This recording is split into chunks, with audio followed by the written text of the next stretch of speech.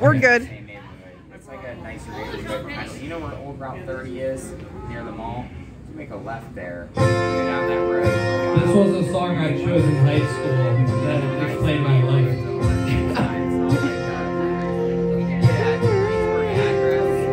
Oh a good girl.